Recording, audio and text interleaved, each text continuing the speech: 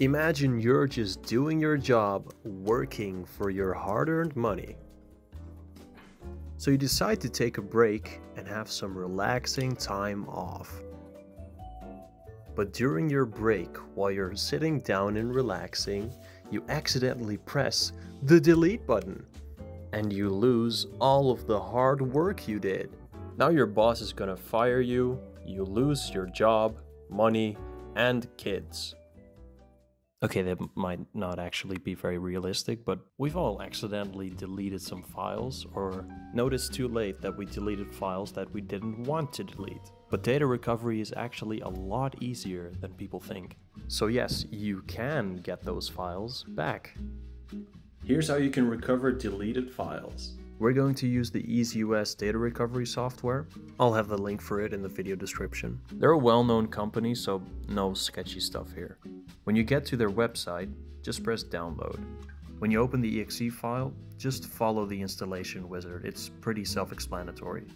Now after it's installed, it'll give you clear instructions for how to recover files, but I'll explain it a little more in detail.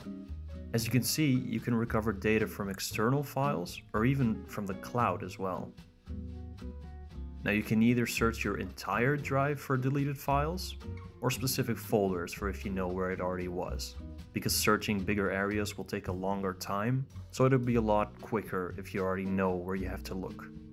So let's test this real quick by creating a test file in this specific folder. Now let's fully delete it. Normally you'd think this file is gone forever, right?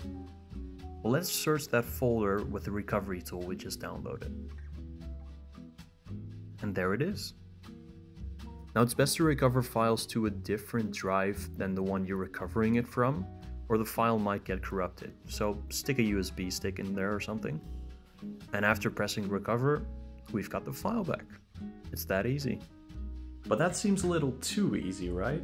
If you delete stuff, why doesn't it just go away? Well, it's actually pretty interesting how this works. So let me explain how data is stored on a computer. Well, let's pretend real quick that this circle is your hard drive or SSD. It has a bunch of bytes, which we will represent as these little boxes. When you write something to these boxes, they get used. So let's say this little square here is some random file, like a video file. When you delete that file, it doesn't actually go away. It just gets marked and made invisible. So the drive will continue to use all these boxes until they've all been used up. And only when it almost gets full will it start replacing these marked boxes. So until the drive is full, this file just exists, but it's just made invisible for you. So everything that the data recovery software does is just make that invisible file visible again. And then you can take it out. But keep in mind, if it gets overwritten, there's a good chance you won't get it back. It might be corrupted, or you might be lucky and you can actually get it back. So there's always a good chance to try.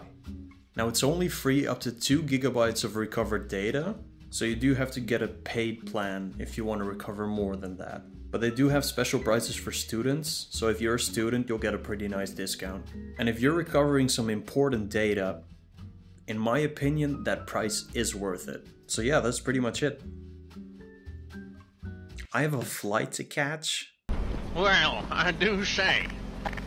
Catch me, catch!